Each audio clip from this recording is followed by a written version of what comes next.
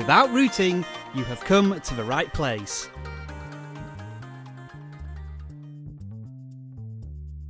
Traditionally, I've always recorded my material with a camera shooting onto the screen of my device, but I've always been interested in the idea of recording the screen direct, and Lollipop Screen Recorder does exactly that.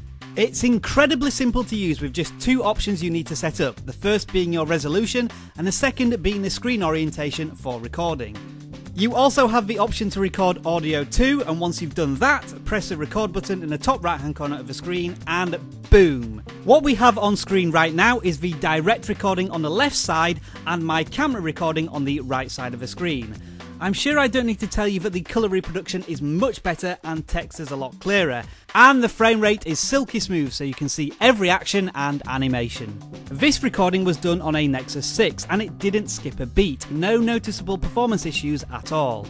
You'll notice recording icons in the notification tray and it will record changes in screen orientation, but it will look a bit odd on your video. That's a side by side comparison, but this is what a portrait video recording looks like by itself. Of course, you can record in landscape too, which might be useful for gamers out there. So, back to the two key features of this application. It's free with no video watermarks, and if you have Android Lollipop on your device, it doesn't require any sort of modification, which is absolutely fantastic. You can stop the recording through your notification tray, and the video will appear in a friendly MP4 format within the application. What more can I say? Lollipop Screen Recorder is just the application. I was looking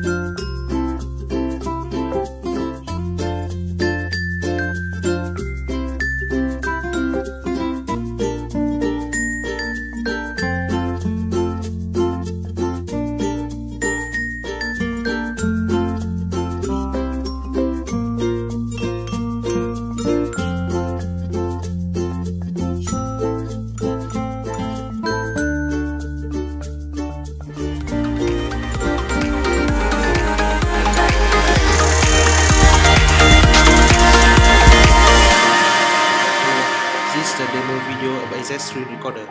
When you open the app, there is a floating window with four buttons. We can navigate to any screen with this floating window staying on top. Now I will open the Flappy Bird game made by Google.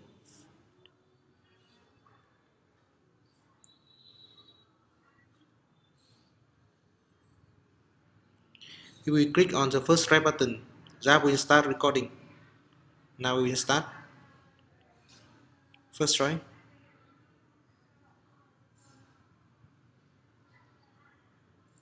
Second try. We can pause or stop by open the notification bar.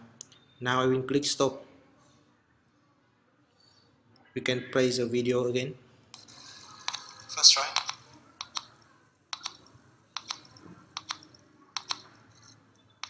Second try.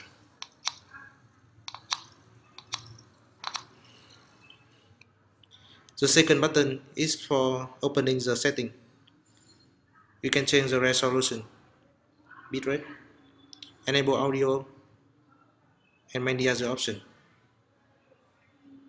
We can see on the recent recorded video. Yeah. And the last button is to exit.